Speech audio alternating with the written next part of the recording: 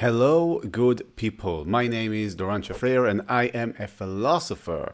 And, you know, once you study philosophy, you really don't have much else to do other than try to follow maybe logical arguments or ideas or stuff like that. So, here I am trying to do that over the latest Piers Morgan debate. I will try to critique the arguments and the logical value of them and show you the process of the debate itself because a couple of really interesting things are happening in there. So here's the thing I will try not to give too much weight to my opinion of their opinion, but more to their philosophical argument, like how sound is the move that they're making and what is the possible weakness. This is a discussion between Cenk Uygur and Hassan Musab Youssef.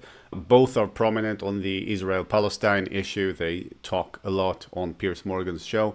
Really, if I were to summarize each person's views, you might say, Cenk Uygur is a pretty far left progressive and he well we'll see the moves the moves that he makes and Hassan Musab Youssef is an ex-Muslim ex-Hamas member and he, well, we will also see the moves that he makes. A hugely significant development in this war that Yahya Sinwar, the architect of October the 7th, has been killed.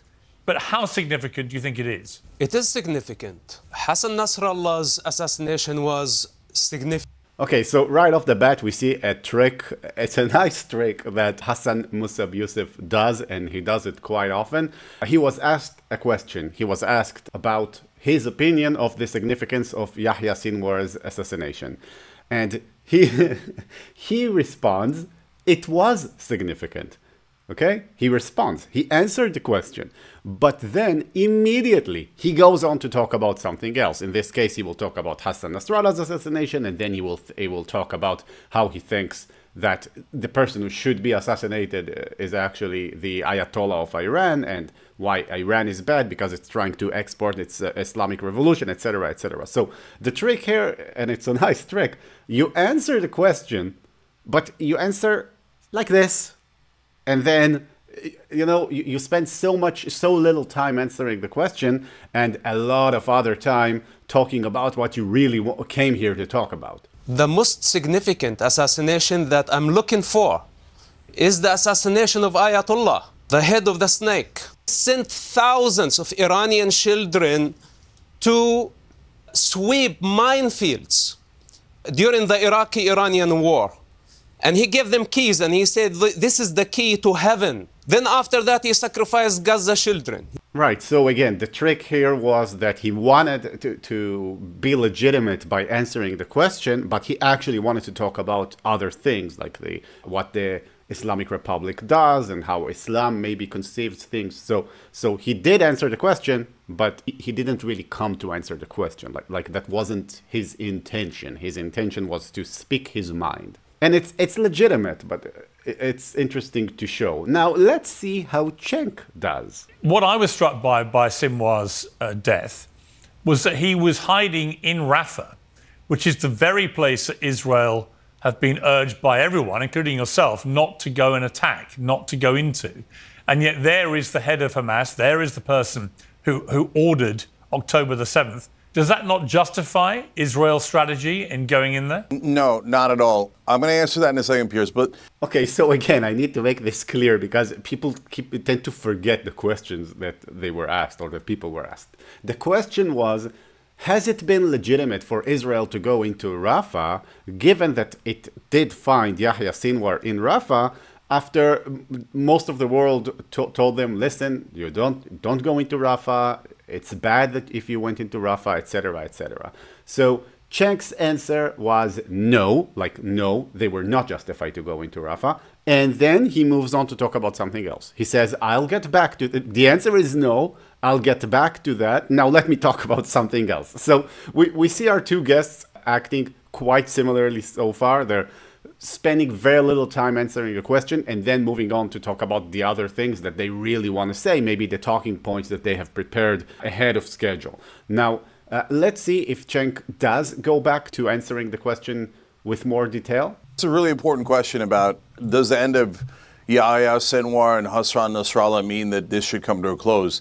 That's the central question. And here they have no more targets left. All of Hamas leaders are dead. All of Hezbollah's leaders are dead.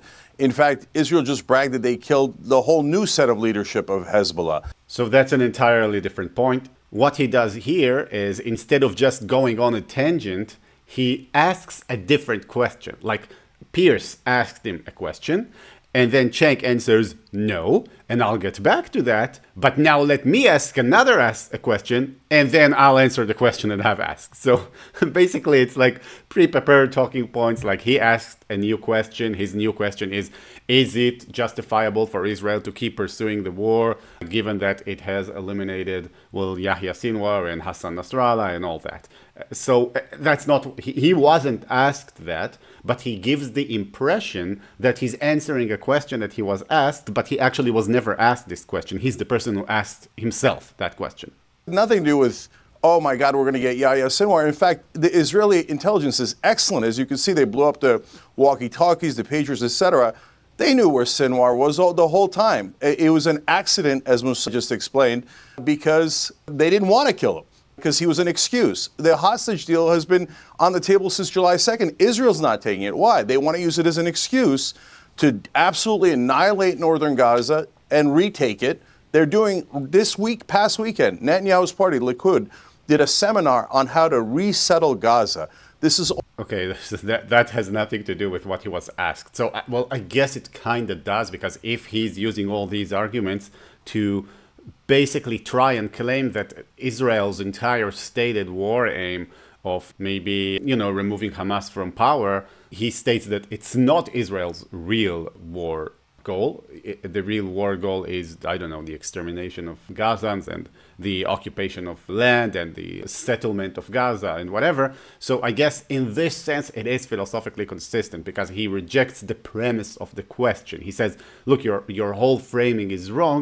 The true framing is that Israel is not interested in removing Hamas. So that is kind of philosophically consistent and sound, I could say. But, well, you, you have to accept a lot of premises to accept his uh, worldview. If, if after 9 11, America had discovered that bin Laden was hiding in a particular place, as they did many, many years later, but had they discovered it within a year, and they had attacked that place and taken him out, then most people would have said that was reasonable, responsive military action, wouldn't they? What's the difference? morally yeah. between between so, well I mean just just to be clear nobody disputes that Sinwar orchestrated and ordered October the 7th. So if he is the mastermind right. behind this heinous terror attack, then using the parallel of 9 11, is that not just justification? If that had been bin Laden, would anyone be having too many moral qualms about going after yeah. him and killing him? So Piers noticed that uh, Cenk didn't answer his question. He, he tries to put it differently. The thing he said here is, again, the same thing. He's asking, should Israel have gone into Rafah, right? Given that Yahya, Yahya Sinwar was in Rafah, was it fair for Israel to go in there? And let's see if Cenk answers this time. Because last time, I remind you, he answered no. He said, I'll get back to that. And then he, he went on to basically say what he, what he came here to say. So let's see if he answers this time. No, Piers is a great example, but I reject your framing. So let me explain. So Bin Laden, we didn't get, we did get, and where did we? How did we get him? We got him through special forces. And if you remember, a year ago when I was on this program, you said, "What should Israel do?" And I said, "Special forces." This is indeed an argument that Cenk has made for a long time now that Israel should be sending special forces to deal with Hamas. Now, here's the thing. Logically speaking, like in imagination land, you could see how this argument works. And it's consistent because you say, well, they do have to pay. Israel should get the terrorists, they should get the bad guys. So the solution is to send like a special force that only gets the bad guys or something like that. But here's the thing anyone who knows anything about warfare in the region would know that that is pretty much impossible.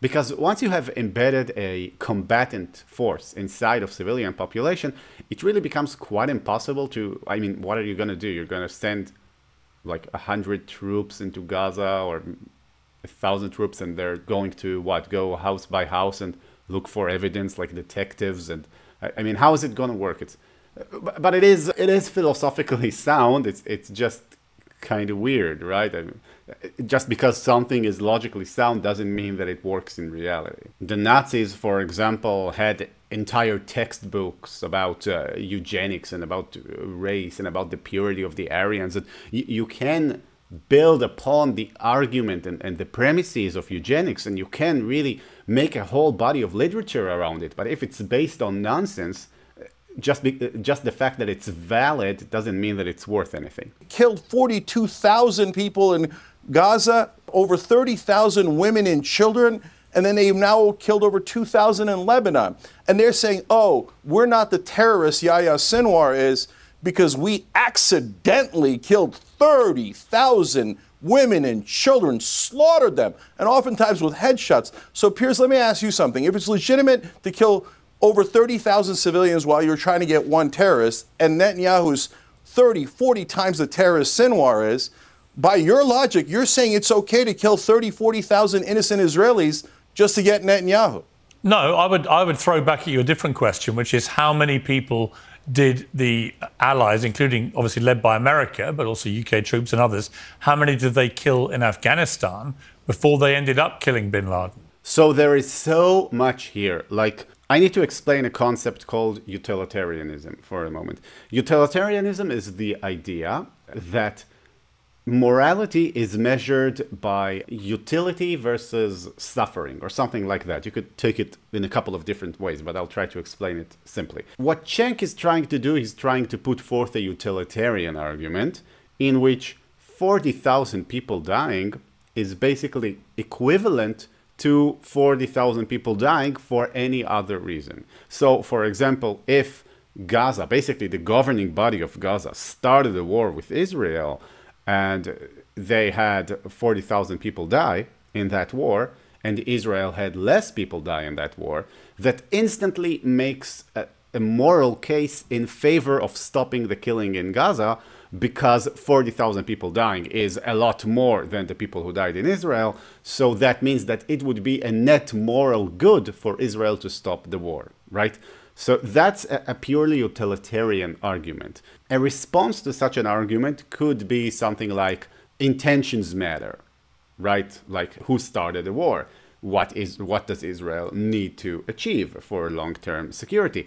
Whose whose interest should Israel have in mind? Should should it care more about the Israelis who are dying or more about the Gazans who are dying? So th th these are some potential questions that could be asked of a utilitarian, but it, it's a pretty solid like it's an easy talking point right because it's a it's a disparity in casualties and it's easy to see so it's easy to put forth the utilitarian uh, viewpoint if you indeed want to argue against Israel and Piers's response here, by the way, kind of doesn't fall for that. He goes back to the special forces part because Cenk kind of says, well, the Americans got bin Laden with special forces. But Piers asks, well, you wouldn't send special forces into Afghanistan before, you know, before the war. Like you can't, you wouldn't have, instead of bombing Afghanistan or doing whatever, send, I don't know, a bunch of SEALs to go look for bin Laden, right? It's crazy. I mean, again, it's it's it, works on the philosophical level, but in reality, it's it's complete fiction. It, it depends how you frame what Hamas and Hezbollah have been doing for the last two or three decades. You know, to many people, where they come from, they are a form of resistance. To many people outside of the region, they're terrorists. But clearly, a lot of people in the Palestinian world believe that Hamas and Hezbollah are not terrorists, but are essentially a form of freedom fighter.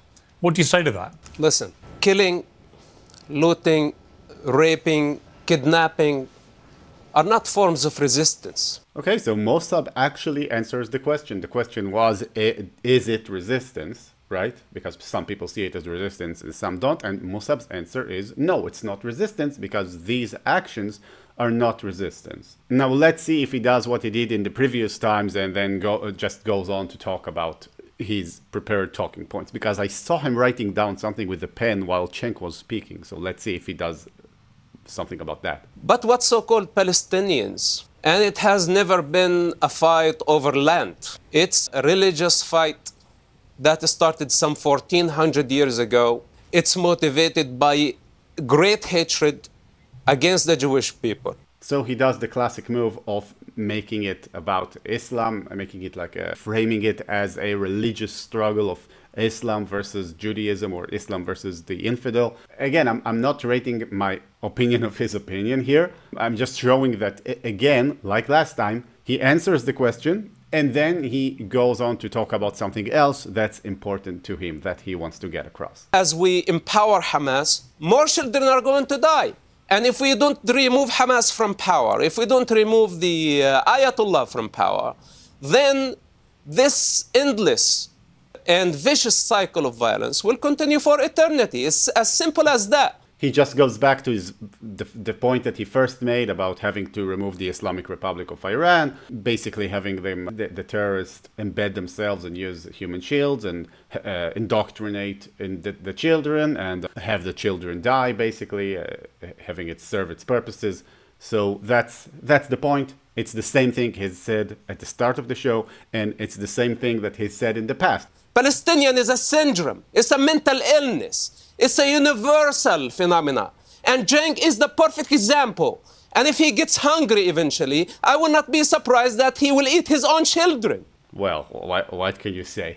Well, obviously, it's a rhetorical tool. It has no philosophical or logical value. But of course, what he's driving at is that the Palestinian culture, that's his claim, that it, it devours its children by basically teaching them the Palestinian identity and so-called resistance against the Jews, the Israelis. Okay, so you would like me to respond to a guy who just escaped from a mental asylum. Okay, he calls me a Palestinian. You Look, are the one who should I'm go not... to a mental asylum. Okay, if if he looks like I should skip ahead a little bit. They're doing a lot more than throwing rocks.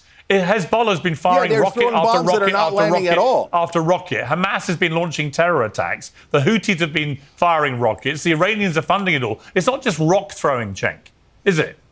Okay, Piers, Piers, you're making it sound. This is the frame of all Western media that the Palestinians and the Arabs and the Muslims are so strong, they're about to wipe out poor little Israel. Cenk is making an argument here about how, well, the Arabs, basically, the, those fighting Israel, don't really harm Israel that much. You know, they fire a bunch of rockets and the rockets don't really hit anything. And, well, you know, a person dies once in a while. That goes back to the utilitarian viewpoint, right? Because if, if you fully adopt a utilitarian viewpoint, in which all you do is count heads, then it's immoral to have Israel continue the war, right? Because not so many Israelis are dying and many Arabs are dying, so Israel must be in the wrong. If I am if I am purely viewing the world through a utilitarian lens in which I am trying to minimize suffering and maximize happiness, then of course it will be easy for Cenk to say there's a lot more suffering on the Arab side and a lot less suffering on the Israeli side. I mean, Israelis, you know, a person gets killed once in a while, then a few rockets get thrown at them, but these rockets miss. While on the other side, Israel is bombing and, and it's not really missing and it's destroying the entire place. So, util- utility wise, Israel is the bad guy, of course. It's a very comfortable viewpoint for anti Israel people to adopt uh, because it works. It works. This viewpoint has certain many weaknesses. I am not a utilitarian, but some people are. How do you not see, conversely, that what happened on October the 7th was to Jewish people not dissimilar to what the Nazis did to them in World War II? How do you not see that? it is not similar at all. It is. At all, Piers. It is. It is no. Is he going to say that it's not similar at all because of utilitarian reasons, like because of the scale and because of the ability of the other side? Let's see if he does that.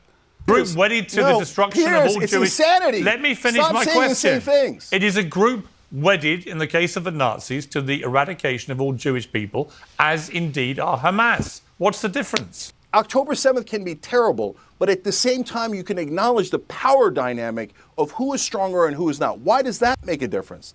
Because the Nazis were the more powerful force. They had every ability to wipe out the Jews, and they tried. Right. So it's a utilitarian viewpoint, right? The, the answer is that Ham- uh, the Nazis did wipe out European Jewry and Hamas didn't. That's kind of the the argument here, right? The, like, okay, so utilitarianism it's also what you would call a consequentialist worldview. It means that what matters are the consequences, not the intentions. If you've maximized pain, that's a bad thing. If you've maximized well-being, that's a good thing. Your intentions they don't matter at all. So essentially he's he's being consistent. Cenk is being consistent here. It's just I think a weak view. We could criticize it from other directions, which we're not going to do here, but I guess it kind of works, right? I mean, you have to put on a very special pair of glasses to view the world through this lens alone for this to work, but it could work. Who authorized you to speak on behalf of the Arab children of Gaza? Who authorized you? You just did. You, you never been there. You don't care. So am I And now you not? think you hold the higher moral ground. You don't. I do. You're not the savior. You always need a victim in order to pose as the savior. You're not the savior. It's a big situation in Gaza. All of us are heartbroken for the death of the children of Gaza. All of us. That includes Israel.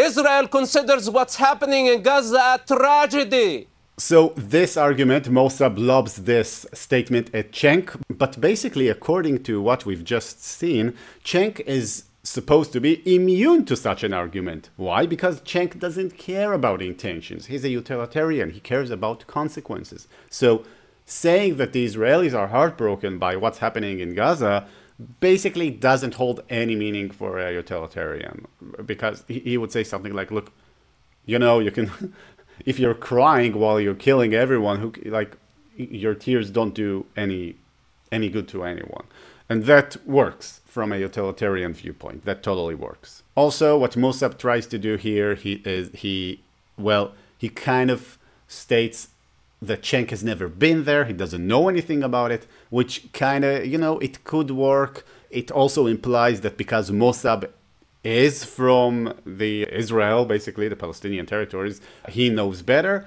So that, you know, that's a little jab in there. You know who's fighting for the children of Gaza? The IDF that is killing Hamas, that is uprooting Hamas so the children of Gaza can have their freedom after 36 years of slavery. Those are the ones who qualify to speak on the topic, not you sitting in your comfort. Mossab Youssef basically comes from a worldview that Hamas is bad for the Arabs of Israel, for the Palestinians. He, he calls them Palestinian in quotes, but this is his worldview. So, for from his perspective, Israel is doing a service to the children of Gaza by dismantling Hamas. This is what he hopes to achieve. This is what he always talks about.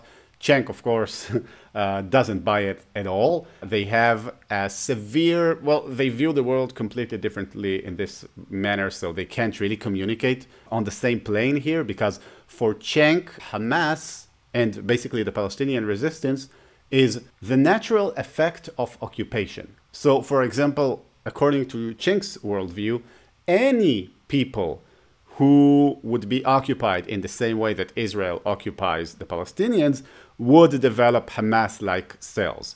Whereas for Mas- um, Hassan Youssef, these guys are, well, they're basically the reason that they're acting like this is because A, they're Islamists, and B, they're like infected with a mind virus that causes them to see themselves as this made up Palestinian thing, right? So him and Cenk can't really communicate on the same plane. They're speaking in completely different terms. I guess this show is meant to be entertaining, right? So that works for entertainment. That's why he comes out here and says absurd things like Palestinians don't exist. Why is he not have no allowed to? Why is he not allowed and, to renounce and disown Hamas? All right, I think I've had about enough of this. So, this was my critique of this debate. I hope you guys liked it. You can feel free to send me anything else that you'd like me to critique. Ideally, something shorter than this. But uh, thank you so much. Have a good day. Be good people.